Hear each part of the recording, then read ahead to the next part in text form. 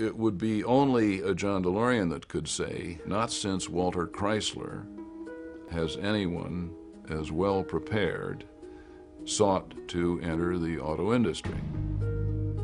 He was the guy who brought a dream, and we all lived that dream. We all felt part of that dream, and it was our dream. I felt that I would help myself, I would help my company, and I would help that bunch of people. And for a while, it turned out that way. It wasn't like another Ford Escort been built. This was something different. Having led us up the garden path, he suddenly went to a stage where he hadn't got any money at all. And one just knew then that he was not a man to rely on. This is the tale of the biggest car crash in automotive history. The story of how a modern-day Machiavelli spent 85 million pounds of taxpayers' money in pursuit of his dream of building a stainless steel sports car. Nearly a quarter of a century ago, the only sports car ever built in Ireland ceased production. The car was as controversial as it was non-conventional. Gull-wing doors, stainless steel skins and a cost to the taxpayer around 275 million pounds in today's money. It was the DeLorean DMC-12. It's the first time I've driven a DeLorean. I've obviously heard lots about them over the years, especially when the factory started up here. There was a lot of excitement in Northern Ireland about building a sports car. I think the look of the car is fantastic. It still looks very striking today. Designed as a sports car for the masses, its future-proofed film star looks fast-tracked it on the road to stardom.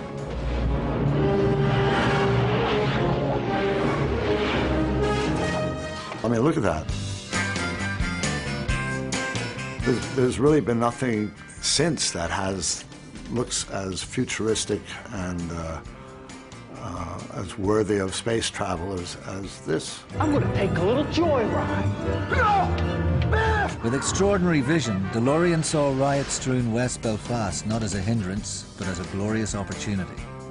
He was going to build a car in a state-of-the-art factory, make a lot of money and have his name mentioned in the same breath as Enzo Ferrari and Ferdinand Porsche. He almost succeeded. If this had been a Ferrari instead of a Ferrari badge on it, it would have sold. The story begins 3,000 miles away in another industrial city, Detroit, car capital of America and home of some of the biggest gas guzzlers on the planet. John Zachary DeLorean was its rising star.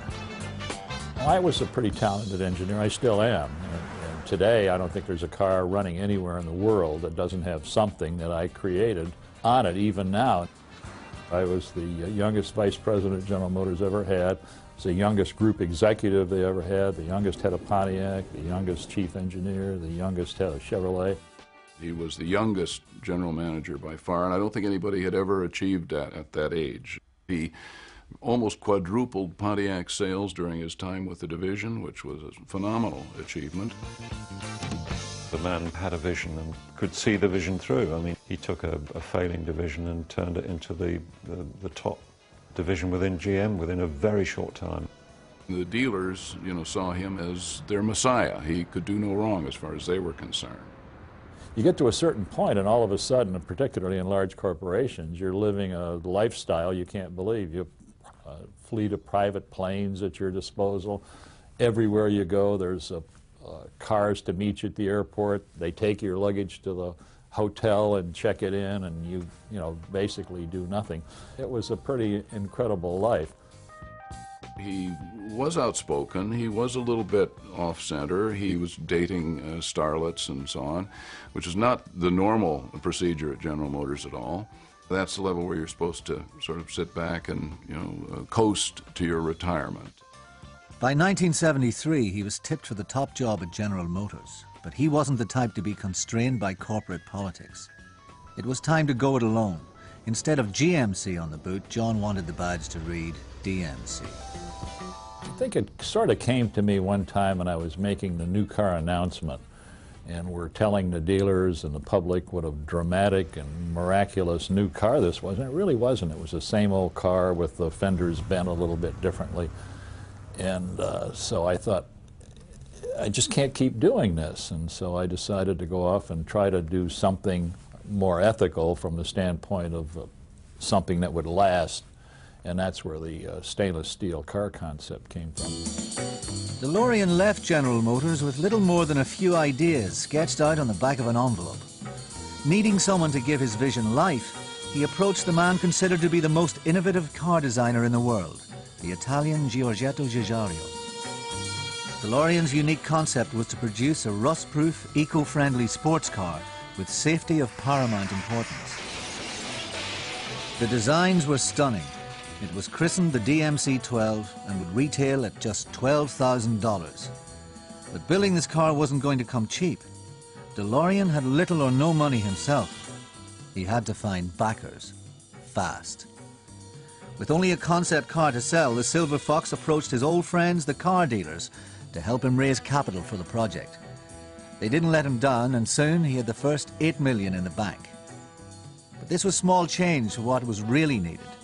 Never one to miss an opportunity, John figured that rather than go to the traditional car makers, he would exploit countries with high unemployment. The Industrial Development Authority, the IDA, came along to me and they said some of their people in America were talking to a man called DeLorean, who had uh, a project uh, for a revolutionary new type of car. When the IDA gave a sort of indicative offer, he came back a few days later and said that he had a higher one from Puerto Rico.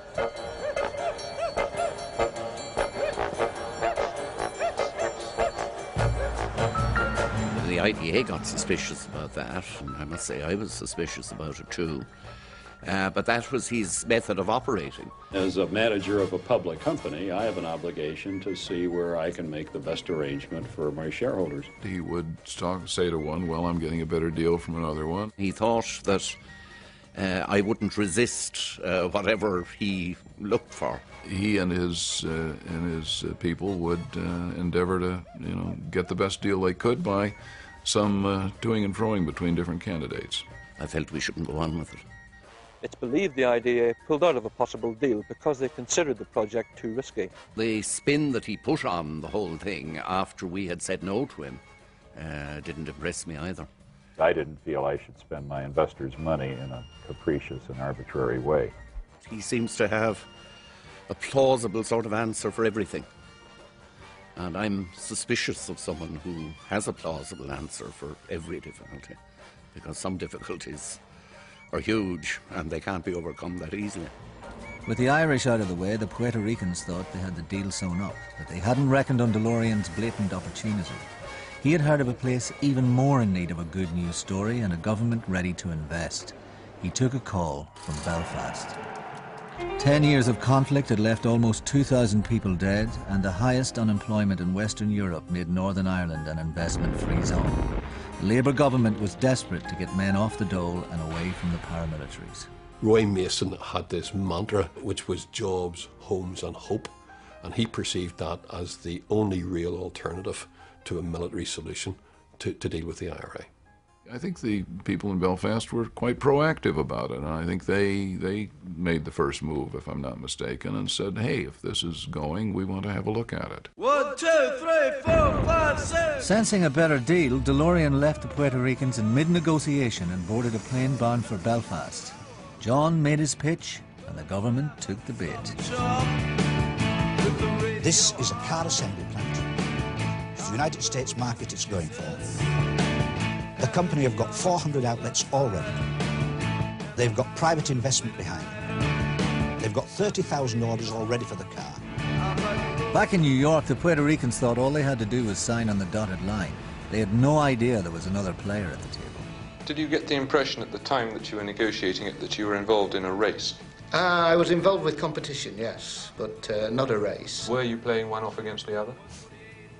Mm, I think that's making it sound a lot cruder than it was. The British and the Northern Irish Development Agency secretly did the deal in just 46 days. The Puerto Ricans were still stuck in their New York hotel. After these great inducements they offered us, that that was probably a more logical place for us to go. It made, I think, probably headlines in every national and provincial newspaper, and it was perceived as a significant coup for the government. Their feeling in the north was slightly triumphalist, in some quarters anyway. Uh, they thought that they had sort of uh, got one over on Dublin, as it were. The Irish Industrial Development Authority considered it too risky an investment for them to take. Well, they said that when they'd lost it. To be perfectly honest, if I'd have lost it, I would have been probably saying the self same thing. Is it true that uh, the Secretary of State, Mr. Mason, told the head of the Department of Commerce that he was to give DeLorean, quotes, everything he wants? No, I've, uh, I've, I've, uh, I never saw that, and I was never involved with discussions at all like that. Certainly, we went all out to get it. The Labour government was ecstatic. They offered £53 million of taxpayers' money in grants, low interest loans, and a greenfield site on which to build a space age factory. DeLorean's only guarantee was to build the car they accomplished so much so quickly. Uh, all the little obstacles that we've had other places were just taken care of immediately. Oh, I'm quite delighted. I think when I talk about the tide turning on industrial investment, I think this is uh, one that proves it is. I was glad that it was uh, somebody else's money that was at risk other than the Irish taxpayers' money. It didn't take long for the word to spread that a sports car was to be built in Belfast. It's here on this greenfield site near Twinbrook Estate in troubled West Belfast that the biggest industrial gamble this province has ever seen is to take place. You've got to be in Dunmurry. That's the only place that this deal applies because it was in this. Uh, basically, there was a Catholic estate on one side and a Protestant community on the other side. And the idea of a sports car factory slap bang in the middle of West Belfast was a seriously risky venture. Nonetheless, it captured the imagination and there were no shortage of applicants. I was watching television and there was this tall, bronzed American on, very charismatic, and he was speaking about all things about starting a sports car factory in Belfast. I mean, that was just incredible. This is an area of extremely high unemployment. One man in three is without work. People couldn't believe it that, that there was a factory coming in and setting up in that area. It's also an area which has seen more than its fair share of the troubles, and it has none of the engineering tradition of other parts of Northern Ireland. This was the start of something big, maybe a wee bit of an ego thing, but I just wanted to be part of the DeLorean setup. There were stories which abounded at that stage of letters which were written to John DeLorean, care of DeLorean Detroit, from, from people who said, I, I want a job. There's complete euphoria about this factory, and nearly every household there's an application form. Right away, I got my CV down and said, I want to work here. This is really exciting. I would love to work for DeLorean. I've been out of work now for just over a year. Since uh, we heard this factory was coming, um, the people have got a kind of a hope, you know. It's a hope that um, if they're lucky that they'll get a job in the plant. It seems incredible. These guys have come over here to give us give us a chance, you know. But how can they ever build a sports car in West Belfast? Well, I think what it did to a significant extent was was to vindicate Mason's mantra of you know jobs, homes, and hope. And here were here here were jobs in in something that was tangible that had something of an international reputation, uh, and it, it was hope. The pieces were falling into place. DeLorean now had the land, he'd secured the millions, and the people were ready to build the car. The only thing missing was technical expertise to turn his prototype into the real thing. He turned to Colin Chapman and his Lotus Car Company. Lotus was a prestige marque, but the company was short of cash, and Chapman had no experience of mass-producing cars. The appearance of DeLorean on the scene was manna from heaven for Colin Chapman. Here was the customer to beat all customers. We were going through a fairly difficult period with car manufacturing. It was not the best time. Uh, and he was just attracted to the, the prospect of the money that the program would generate. John was a user, and he saw Chapman as somebody he could use to, to get his car built. Uh, simple as that. Promising to get the car into the showroom in just 18 months, he headhunted the top three engineers in the business. But in true DeLorean style, he told each they had sole responsibility for the car. I joined DeLorean on the basis that were prototype cars in existence, and I had driven one in California, in fact. And I thought it was a question of developing an existing prototype car into a production unit, which I thought was just about on in 18 months. But having joined and really got into it, I found that not only was I not the only chief engineer, I was one of three, um, and that the old car was being redesigned totally in the image of Lotus. It was almost a Lotus Esprit with a stainless steel shell.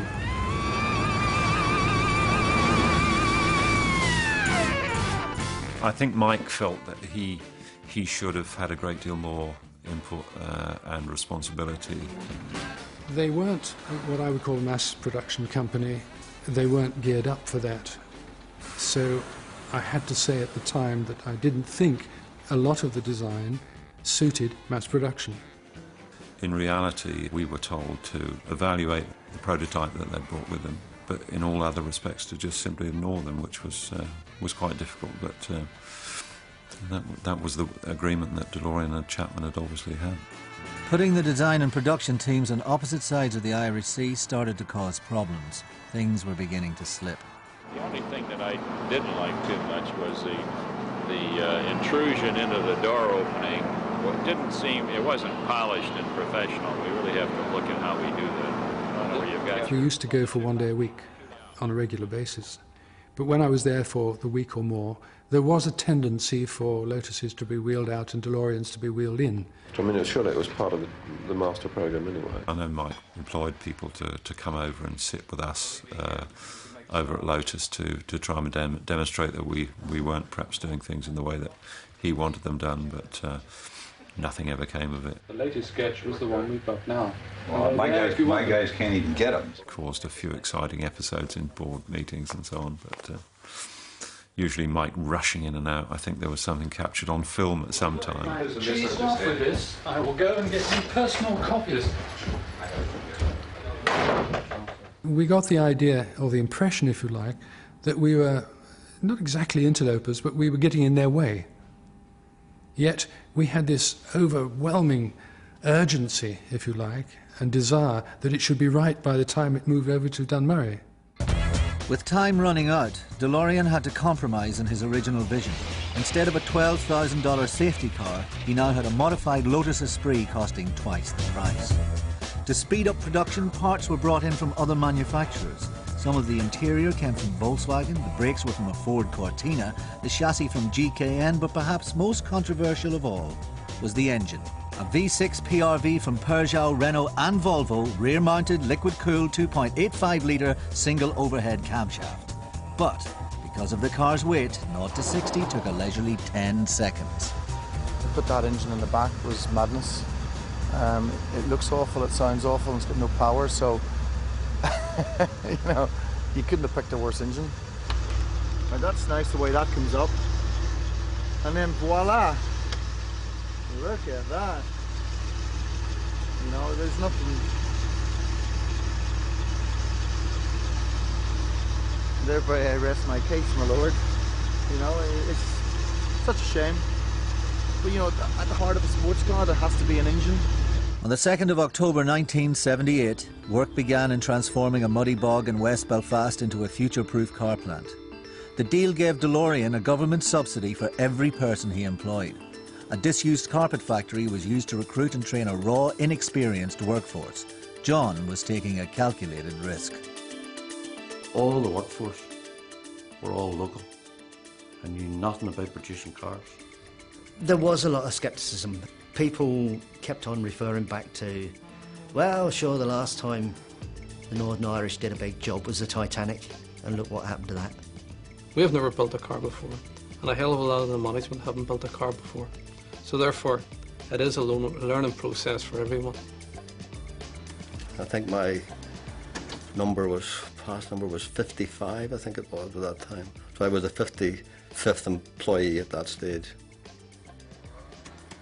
The very first day that I started in the place, these huge, like prehistoric monsters, the big earth moving machines, they were trundling up and down, levelling the land. When we built that body shop, which was a 177,000 square feet factory, and as the roof was going on, we were designing the production equipment, the layout. And as the roof went on a section, we did the floor with the layout for the conveyors. And this is a completely new process. No one has ever done this before. I can remember during the building phase looking at the size of the buildings and saying, can you ever see this place filled with cars? And quite frankly, it really, I, I couldn't see it, but I said, someday it will be. In a way, it was nearly like sort of picking some space age edifice and just planting it down in the middle of Belfast. And there it was, like a giant flying saucer landing on the place. The whole thing of not only a car plant coming into what was on the periphery of West Belfast, but also something that was totally new, something that was a new technology, something that was in new shape, something that was innovative. It wasn't like another Ford Escort been built. This was something different. The whole thing was at a most furious rate. Even Ford, at that time, when they were asked how long it would take to develop a new car, they mentioned a figure of five years. This, to my mind, was one of the most exciting things of the, the whole project, was the speed that it all happened.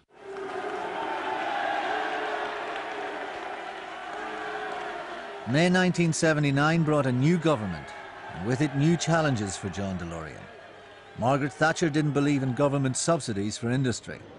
It may have been all smiles as John greeted successive ministers, but the Tories were sceptical of John, and he took a dim view of them. The Thatcher government was not in favour of subsidising manufacturing industry and would look askance at any more money that had to be put in. And yet, what were we to do? To have cancelled the thing uh, without good reason would have been devastating, and we couldn't have done it. So we just had to go along with it.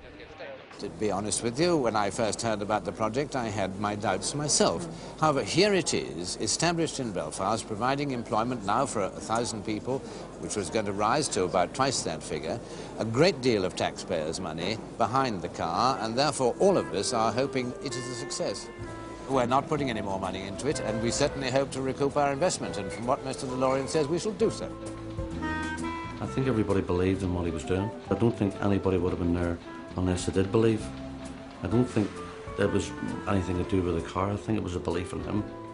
He had this uh, great personality that would that would persuade people that they could work miracles for him. I mean, I didn't see him very often, but he just looked like a like a film star. He had this charisma. He could have done anything. Quite a good-looking man, you know.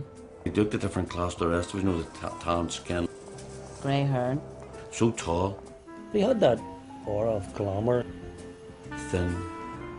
Certainly photogenic. He looked the part. Just was this great man that I'd read about, and there he was in front of him. And his wife was certainly photogenic. Big, tall, leggy woman. And when she came round the factory, it's just damn tools. She was one of the top models in the world. To use that saying, she was a spectacular looking, looking woman. Both had huge charisma. At that time, when the the company was on the up, and it was quite easy to tell us how wonderful it was. And I think it was quite easy for us to believe how wonderful it was. Things were going well. The DeLorean spent £350,000 on luxury homes in Belfast for themselves and their associates. But Christina DeLorean's first and only visit was interrupted by hunger strike protesters, and she never came back. The story was that he was frightened to live here in case he was captured by the IRA. I can tell you quite clearly that there was no threats. We get threats all the time. Uh, we have sniper shots that have been fired at DMC executives. It would not be in the interests of either the nationalist community, the Catholic community, or the IRA to uh, to harm John DeLorean. We've had fire bombings, 140 fire bombings since the plant has been built. I think myself that um, perhaps uh, DeLorean maybe wanted to use it as a bit of an excuse. Certainly, they've uh, created an element of instability. Uh, naturally, all the people are nervous, and we've had uh, fairly high absenteeism and a, a, pretty substantial loss of efficiency during this period of time. I think we had one bullet through the water tower, but that could have been fun rather than anything else. Mm, it was a little tricky when we came back on the night Bobby Sands died. To find my office had been burnt down, amongst other things. As Harold Macmillan might comment, a little local difficulty. I think it was quickly realised that if we allowed the troubles outside to come onto the, the shop floor, then there was a danger that the whole whole thing could collapse down around us. The only politics we have is the fact that everybody prior to it, the vast majority of people are unemployed. We had been told there's not going to be any bunting, there's not going to be any union flags, there's not going to be any pictures of the Pope, there's going to be no pictures of the. We're going to keep all that out. That's politics. Leave that outside the factory. When we're in here, you can put pictures of a car up. That's what we're here to do build cars. Everybody's working for one cause, and one cause only. And probably most people's causes too was that it was given a half decent wage and a, a better living than what they had before. The hunger strikers were dying. We could see people on the television at these funerals. People who were working in the factory. And as well as that, there were orange men and loyalists working, all in the same squad. And these people sat together and got on well together. It was a big effort not to allow religious or political sympathies to get in the way of doing a good job. And uh, I have no fault to find that at all. In fact, it was one of the things which was encouraging at a pretty grim time. Have you had cause to regret your choice of Northern Ireland as a manufacturing base? No, uh, we're, we're, we're absolutely sold on the people. You have a very highly motivated workforce who are dedicated, who are skillful, and who are interested. And uh, all things being equal, I can't think of a better place in the world for us to build the kind of car we want to build. Finally, in January 1981, the first DeLorean inched its way down the assembly line. John was proving his critics wrong. This was the first time that anybody had really seen a car. And here it was growing in front of us. So we, we saw the panels going on and the front fenders, I suppose I should say. It was an American car, the front bumpers and back bumpers, and then the doors being fitted on. The car was growing just in front of you. And it really was exciting because a lot of other people from other departments, they would come around. They wanted to see this car and see a DeLorean actually growing in front of them. Nobody knew if it was ever going to start or not. But the time we actually put the key in, it says maybe turn over for a wee bit, you know, and then it'll start. As soon as I turned the key, bang, away it went. There's a cheer went up, you know. That was the first car that was built in Northern Ireland and was driven around the test track. And uh, I had the pleasure of taking the first time around the test track. Thought it was Jack a lad, really did. Everybody stand watching you. It was a big coup for us because like there was literally nothing there, you know, and all of a sudden you have this. The next thing, a miracle. Something that we had created that actually worked. And a guy got drove it out the door, and that was a car. Completely unique. I think probably the the memorable day for a lot of people was the day the first transporters left. That I think for a lot of people, particularly the workforce, it gave them the impression, hey, this is going to work. Was 379 cars left the factory in the first shipment, and everybody watched them leave the factory. They were transported down to the docks facility. They were driven onto the boat, and it's fair to say that most of the employees in the factory turned up that day to see the cars disappear. That was the first batch of cars that left the factory, and that was a that was a day that none of us none of us could actually see that ever happening, but it did happen. It was an immense occasion to see these cars trundling down onto the dock and driving up into that cavernous ship. Amazing, yes, tremendous feeling. On Easter Sunday 1981, the first shipment of cars left the factory bound for America, and DeLorean secured another £17 million loan from the government. The DeLorean is one of the most awaited automobiles in automotive history. Drive the DeLorean. Live the dream today. The first shipment of 379 DeLoreans is already here, not so much launched as landed on the American market. The port of entry was Long Beach, the best sales prospects are in California, and here too, in a suburb of Los Angeles, is the car's first service center. There, the DeLoreans are lining up for their customers. The 10 or 12,000 buyers already known to be interested in a $25,000 car.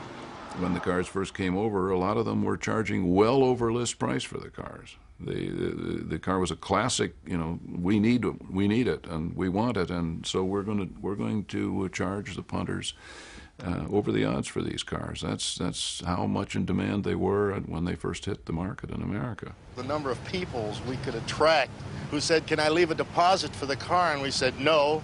We're not taking any more deposits. It got to such a point that I says, the only way we'll take a deposit is 5,000 cash and don't bug me.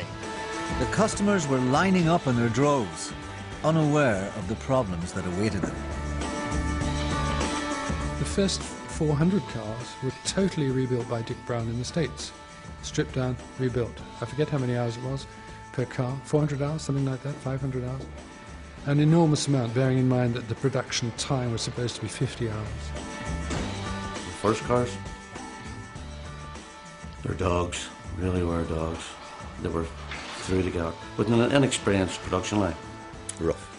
Mm-hmm. Did a lot of retrofitting, yeah. To be quite honest with you, there was a few people in it. I mean, managers and directors were sort of like home that the first load of cars going onto the boat, that the boat sunk. so they could maybe claim the compensation and didn't have to sell the cars as such. I certainly wouldn't have bought well, you know. And I loved them, you know. I was just getting everything to fit. That, that was the biggest problem. You know, you were putting a skin on. There mightn't have been anywhere. There mightn't have been a boat, a, hole for the boat to go into. But that was all part of the design of it. You know, the fun of it. Was like a Meccano set. Bits didn't fit. We made them fit. All the cars we built, no two were identical. Each panel that you had to put on had to be slightly altered we had boys that worked on the production line that, that did that. You know, it just didn't fall into place, and that was probably the biggest problem we had. They had to get to the market fast to earn money. We had a lot of a lot of problems, particularly with doors. Doors were a major problem. They were rough, but then again, they were directly from Lotus Design anyway. So even in the big industries, I mean, they they run pilot production lines alongside introducing new models and to sort all the problems out before they get switched onto the main line. So I mean, it's not certainly not unique to have to have problems, and we all know problems are still resident in, in vehicles even when they go into mass production. I always thought, and I think it was common belief, that the car was not sufficiently well developed to go into mass production. Uh, it needed to be right. The Lotus factory was over on the east coast of England. Somebody put a large sign up the further to the east you go, the more you realise that's not where the wise men came from. Despite the ongoing production gremlins, more and more cars were being shipped to the States. It seemed DeLorean's grand plan was coming to fruition. Suddenly, without warning, the DMC empire was rocked by allegations from an insider. A trusted aide, Marion Gibson, delivered a financial bombshell, alleging that DeLorean had misused taxpayers' money to fund a lavish lifestyle and had not put up the amount of personal cash that he had claimed. She brought his personal files across the Atlantic and gave them to one of DeLorean's most vociferous critics, MP Nicholas Winterton. She is a British subject working for an American company, gravely concerned about what might be the uh, impact of the actions of the DeLorean enterprises uh, upon Britain and particularly upon Ulster and the people of that troubled province at this time. Every cent we spend is a subject of an audit. There's nothing. I've never locked uh, my door. I've never locked a drawer. I've never locked a file. We have nothing to hide. I was aware of her claims and I was aware of Winterton's, uh, uh, Winston's interest in it, which was um, quite important, but at the time uh, we did our best to discount it. But uh, I think he had a legitimate point. I feel that deep down Margaret uh, Thatcher uh, was not at all comfortable, was, I would suggest, well aware that all was not uh, well, uh, but didn't want to uh, get involved. Margaret Thatcher was forced to get involved. She called a police inquiry, but the furore ended as quickly as it had begun. Only eight days after the investigation was announced, DeLorean was cleared of all impropriety. Do I think I was right uh, to draw the concerns uh, to the uh, attention of government? I do believe to this day that I was entirely justified. Cleared of financial wrongdoing, the way was now open for DeLorean to up the ante. He proposed floating the company on the stock exchange, but this time he would need more than spin to convince investors. The factory would have to double production to 100 cars a day. If this gamble worked, it would make DeLorean millions. The headlines in the uh, local paper was more jobs for DeLorean. Everybody was so excited. Instead of just the 2,000 that had been promised, John DeLorean was going to give us 2,700 jobs. This was great news. Could I turn to this sheet first, please? It's the Contracts of Employment Act 1965, the Terms and Conditions of Employment. The subsidies were arranged in such a way that the more people you employed, the more money you got. And therefore, he was always trying to bolster uh, the business generally by employing more people. On behalf of the people of Northern Ireland, I'd like to thank Oh, you for the thank you employment very you've much. given. I think it's magnificent effort, and the best of luck. I didn't think he was ever to be trusted because I just looked at him and thought, well, I don't know. I just wonder what you're doing in Northern Ireland. Well, I've got a pint of blood for every pound that the British have in it, so I don't know. I think we're all about even there. We're bringing on new people at such a rate. And I'm talking about sometimes 200 a week. It's just impossible to do. Like I remember standing with George Broomfield one day in the assembly, and this guy came over to us and he says, uh, "Excuse me, sir, could you tell me where the trim line is?" And George says, "Well, you need to see the supervisor." And he says, "Excuse me, sir, I am the supervisor." This guy was the supervisor, had never seen where he was going to work before. John DeLorean wanted his 100 cars a day, and therefore that was what was planned for. Production was increased to 80 cars a day.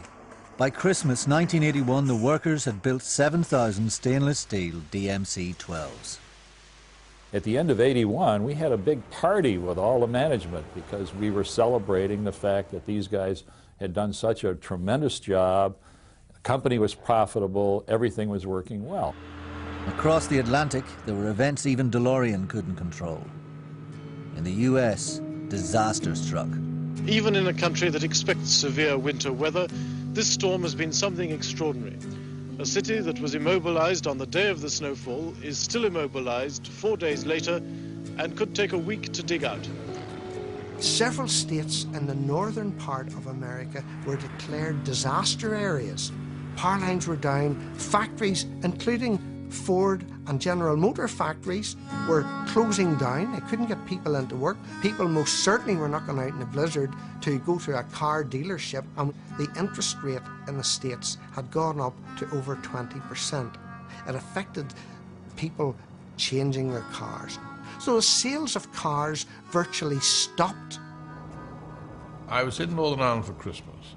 I'd been to visit DeLorean, I think, about a month before. Everything seemed to be all right. Whilst I think I was at home, that I got a message saying DeLorean hadn't got enough money to pay the wages. Senior staff had a Christmas dinner. Congratulations were all in order during the dinner. We were talking about bonuses for the next year, you know, so obviously it was further from our minds that we were in trouble. And there was this man DeLorean strutting the stage with a few few weeks before, asking me for more money and saying how brilliant it all was, and the cars were selling for a premium in the United States and everything else. I mean, it was one of the, the most glib PR operations I've ever come across. And that was the last time I saw him in the factory. No cars were selling, never mind DeLorean. So the income stopped overnight and the company ran out of money. That came as a surprise that the company failed for that reason. I had expected a lashback from quality problems, but I didn't think the weather would have stopped it. Of the 7,000 DMC 12s built, only 3,000 had been sold. With no sales and cash drying up, the company went on a three day week. There are rumours going around the factory that there's anywhere from 250 to 500 men being made redundant, but nobody has denied it. or confirmed it. We have no idea of what the management are going to do about the situation, whether we'll have a job next week or the week after. And that's, uh, there's just an air of despondency throughout the factory. DeLorean now had to go cap in hand to the government to plead for more cash. So far, he had spent over 77 million pounds and now needed a further 40 million to weather the financial storm.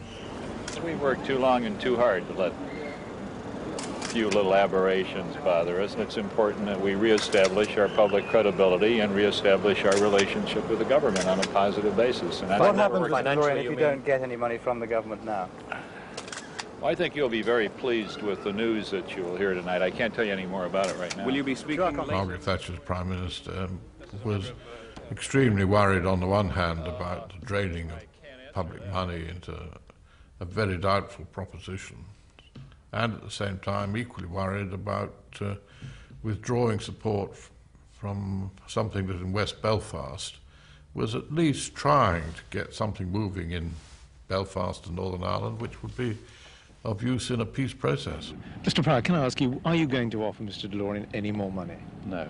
None at all? Well, I think that uh, I, I must um, not answer that question in any other way than the way that I've answered it. What do you think the future of the car firm is? No, I'm, I'm not saying anything at the moment. I'm having discussions with Mr. DeLorean, and that's as far as I can, I can go. We would have done anything we could to have kept the business running had it been a viable proposition. I mean, if he'd had money in the bank, etc., he wouldn't have need come to me for an immediate bailout to pay the wages. On the 2nd of January 1982, with the coffers empty, 1,100 workers were laid off at the Dunmurry plant. I was being laid off, the factory wasn't being closed. And therefore, it was full of disappointment. It was grabbing you inside here. You were wondering, were you ever going to get back in? You were wondering, was it going to get sorted out? I remember I was a trustee of the pension fund at the time, and I remember signing so many checks, my fingers were sore. That it was just sad, sad, sad to see it all happening. All unravelling, all the work that we'd put in, just unravelling before our eyes.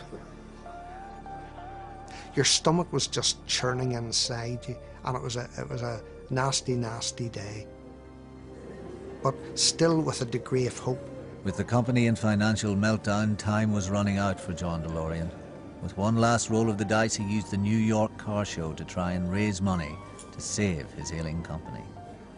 I don't care about the British taxpayers' money or my own money. I think the most important thing is we have some people there. This is a very, very important part of their life, and nothing in the world should be permitted to interfere with it. No one could teach him any lessons on spin. I mean, he was very, very good. Other people have copied him. I'm sorry I'm doing this because I don't mean to sit here and, and be whiny. I, am not that kind of a person. But it just breaks my heart when I see these people attack him that way, and it's not, it's just not fair. And I really think it's about time that somebody came to his defense. Unfortunately for the DeLoreans, the man riding to the rescue was the government receiver. Nicknamed the Undertaker, Sir Kenneth Cork was renowned for liquidating companies. DeLorean uh, was dead against any thought that his company was going into bankruptcy, and therefore he he desperately wanted to avoid that. But uh, I saw no alternative. We were all called into the office of the boardroom, and Sir Kenneth Cork, Paul Shewell, addressed us at that time. Sir Kenneth was, was very supportive. He felt that there was a future for the company. And the one thing we want to do is to keep it going. And I'm going to the States on Wednesday to see about the distribution out there. And um, we really do hope we can do something. We want it to go on. The race was on to find new investors by the 31st of May or the factory would close. DeLorean was desperate and would fly anywhere and try anything to raise more cash. But already today in the mail, I got checks from Americans who want to help, one for $20 and another $10 bill. they said, hang in there. A deal was on, then the deal was off. And eventually he ran out of banks and there was nobody that was going to help him there. All I want to do is keep the factory open so the people can work, nothing else. You last said that you keep the factory open if it was your last breath. Do you still stand by that? I'm still trying. The next thing we heard, he was visiting the Middle East and he was speaking to oil sheiks ar- around the Arab states and so on, trying to get them to buy into the company. And there were various ones that, were, that again were, oh, this was going to happen, and then no, it didn't happen. For the first time, DeLorean's charm failed, and his globe-trotting negotiations came to nothing. With no new investors in sight, the receiver was swift to act. He announced the closure of the factory. It was clear that there was no future. I, I mean, it stared one in the face. One just had to take the decision. On the 31st of May 1982, the remaining 1,300 workers were laid off. The trade union actually told us in the end because nobody had the guts to come and face the workforce. The trade union told us, that's it, you're finished.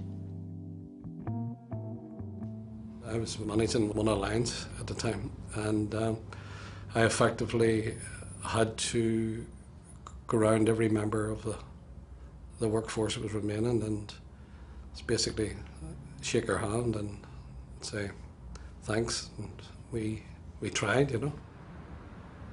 When we got word that that's it, the factory's gone, the union called a meeting outside the front gate, and there was a lot of resentment to the fact that we were all going to lose our jobs.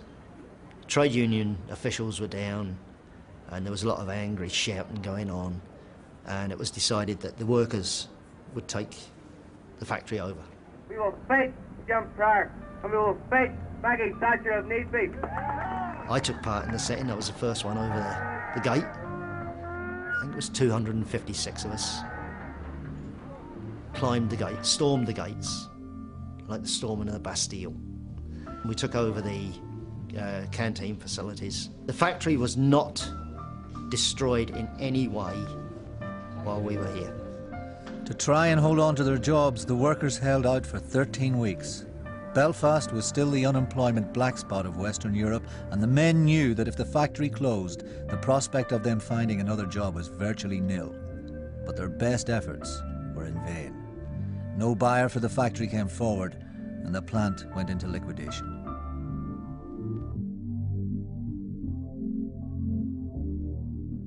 I told uh, Cork that he'd got to finish the thing off because I knew what was going to happen and Kenneth Cork didn't. The arrest of John DeLorean, he's charged with drug offences. Yes, I was tipped off, yes. Mr. Prior's officials say they didn't know. They're shocked and baffled. John DeLorean is due in court within the hour. The former head of the DeLorean car firm faces drug conspiracy charges. And if he's found guilty, he could go to prison for up to 15 years. I was very surprised that a person of that stature in the business world would involve himself in, in that kind of a uh, crime. There's a lot of individuals who commit crimes for the first time.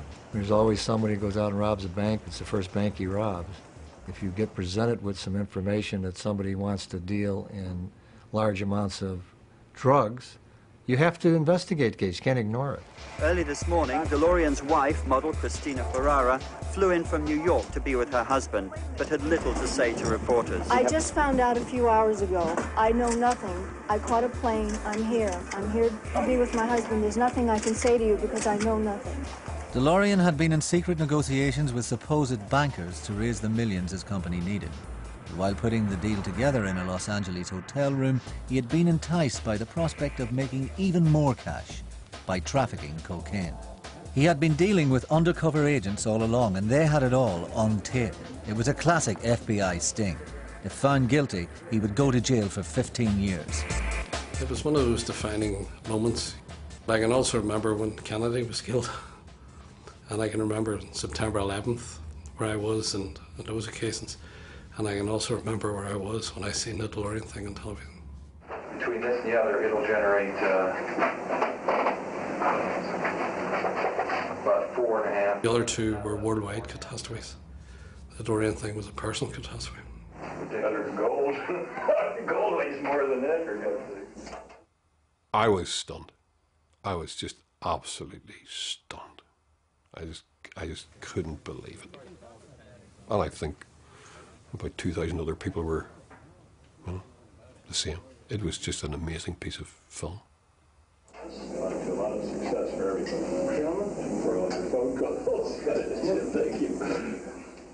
You don't want to presume guilt, but uh, my goodness, they did seem to have him red handed, or white handed, as the case may be.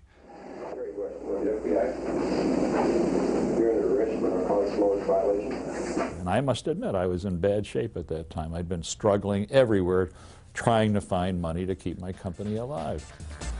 There was no crime committed. I never gave him any money, I never took any money. I had nothing to do with it. I was just a man who was a victim of uh, being stuck in the middle of this whole false scenario. Everybody looked at it, believed that they had a significant criminal problem, and that's why they moved on it. And I have never heard anything to the contrary. I can tell you that, that anyone purposely set up John DeLorean. I do not believe that for one minute.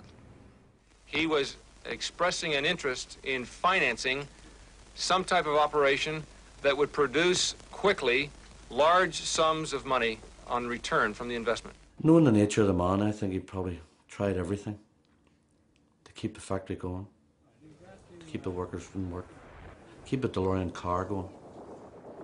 I thought that was his last resort. The DeLorean drug celebrity trial soon became a media frenzy. In the full glare of publicity, John DeLorean was forced to answer some harsh questions.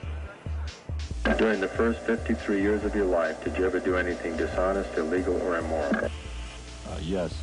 It was a defense idea to put him through the lie detector test. Even DeLorean couldn't spin his way out of this one, and soon revealed his ruthless streak. Or did you ever cheat someone or take advantage of anyone in a business deal?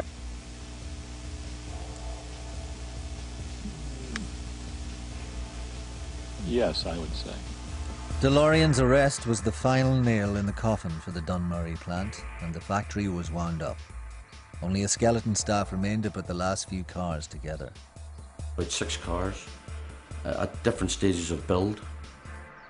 So we were there right up until February uh, 83, building these last six cars. So literally, they were the, the last six cars that left the factory. And they were all built like uh, like in a family business type. That they weren't built on an assembly line. People with the, the different skills would have formed a team and finished the car off.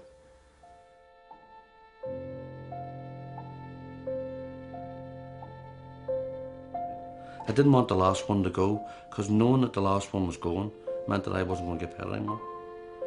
But whenever it did go, like it really did break her heart, you know. And I know that they were the best cars that, that left that factory. Johnson Shipman. The plant machinery was auctioned off. We were hanging labels on machines and what have you. And it was so sad because most of the equipment, you know, some stage or other, I had been involved in, in buying, installing, and it was sad just to see everything going. You said to yourself, what went wrong here? You know, why didn't this work? I had my own belief that he went too fast. Everything was too quick. Tried to produce too much. At the end of the day, we were trying to produce 400 cars a week. So we were 80, 80 a day, 40 at each shift. The market wasn't there for them. You know, you take a specialised sports car, producing 400 a week. Like, over 10 weeks, it's 4,000 cars. Uh, we have for sale this morning, perhaps the most controversial sports car in the world market today. I was earning at that time perhaps over a thousand pounds, taking up home over a thousand pounds a month. But when I DeLorean closed, I went back on the dole. I went back with, on the dole with four kids at forty-seven pound a week. A historic moment for us all, ladies and gentlemen. The first DeLorean sports car to be sold, whether they were made, in Northern Ireland. What am I bid? The sad legacy of DeLorean was not only a loss of jobs, but one of the sad legacies was the fact that a lot of people built on the expectations they had were left up their necks perhaps in uh, repayments and debt. £10,000 for the first car, We all thought we had a job for life. That was the saddest part about it. £12,000 right in front of me. Are we all finished at £12,000 for the first car? We are participating in history. The troubles were ongoing. 12,500. There was little or no job opportunities that were uh, on the horizon. So, DeLorean created a, a sense of purpose and a sense of hope uh, for a lot of people within a lot of communities. Those people knew what they were going back into. all finished at 15.1. The last DeLorean sports car on sale. On the 16th of August 1984, a Los Angeles jury found John Zachary DeLorean not guilty of all eight drug charges. They ruled out as inadmissible the apparently damning evidence of the videotapes, believing instead that DeLorean had been set up by the FBI. Was he entrapped? Uh, you know, I'm sure the, uh, the FBI agents who worked the case, the ones out in the field, the United States Attorney's Office, would say no. People get off on entrapment, uh, few get off, the great, great majority don't. I mean, we've had celebrity trials in, in places like Los Angeles and so forth, that there's no question about it. It's, uh, it, it's a difficult case for the prosecution to win. And I'm not saying that happened here, but at the same time, it's, uh, it might have been a factor. Mr. DeLorean got off, he got off. For the next few years, DeLorean's life became one trial after another. Back in the UK, former chairman of Lotus, Fred Bushell, was left to carry the can in a fraud case involving the siphoning off of over eight and a half million pounds of DeLorean Motor Company cash to a Swiss bank account. He was jailed for three years. His boss at Lotus, Colin Chapman, had taken his involvement to the grave. The judge remarked that had John DeLorean been in the UK, he could have expected a 10 year sentence. He was a hero to us all right up to near the end. Well, he was the guy who brought a dream, and we all lived that dream. We all felt part of that dream, and it was our dream. But when you found out what had really went on, you had to say to yourself, you know, a lot of the blame must lie with John DeLorean. Uh, life uh, as a hard-working industrialist has been tattered and torn. I, I don't know. Would you buy a used car from me?